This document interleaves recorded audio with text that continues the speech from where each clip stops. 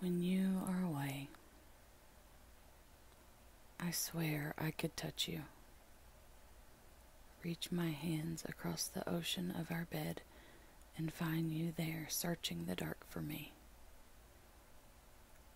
Your naked voice coaxes starfall, rapture and forgetting,